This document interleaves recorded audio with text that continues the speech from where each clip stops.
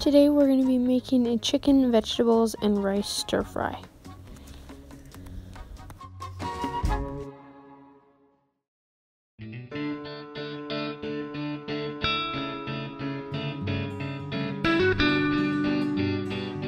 You can find us on Facebook at Kudra Cabin Creations and on this channel. If you are new, please subscribe, hit that thumbs up, and click that bell to be notified when we upload a new video.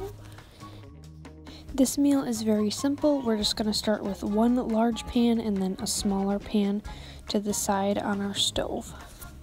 I'm going to take about a pound, maybe about a pound and a half of boneless, skinless chicken breasts and then I'm going to be cutting it into skinny small strips.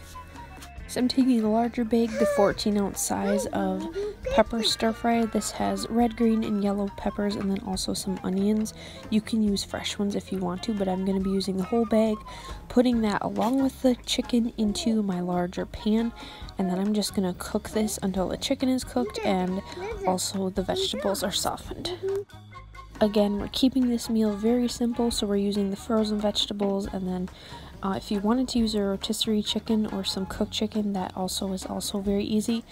But um, if you just want to use the chicken that I've shown and then also fresh ones, that's fine too. But I am going to be keeping the juice that you see right in here because when I'm adding this um, stir fry mix, this is going to help with flavoring. Now this meal is a little higher in sodium because I am using the packets, but if you have stir fry seasonings that you prefer to use at home, definitely do that. And leave us a comment if you have a recipe that you like to use. This is the usual type of stir fry packet that I usually get, but our store was out of it, so that's why I was using the yellow packet that I showed earlier. And we're just going to pour this right into our mixture once it is thoroughly cooked. My smaller pan, I'm heating up some minute rice. I'm using the white rice. I did about two cups, a little over two cups. You can keep this white rice to keep it simple, but I'm going to be using this better than bouillon um, chicken substance rather than using um, chicken cubes. This gives my rice a lot of nice, good flavor, but if you can't have too much sodium, then I definitely would not recommend that.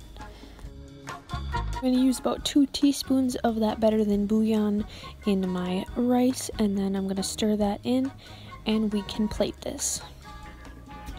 I'll start out with my rice. You can see it is more yellow in color.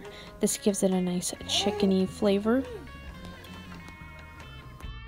Then we'll just top this rice with our chicken and vegetable mixture. And that's it guys, super simple and delicious. I'm going to give this meal a 10 out of 10. I would prefer the seasoning that I did show you guys earlier, but the one we did have was okay too. Thanks for watching guys, please subscribe.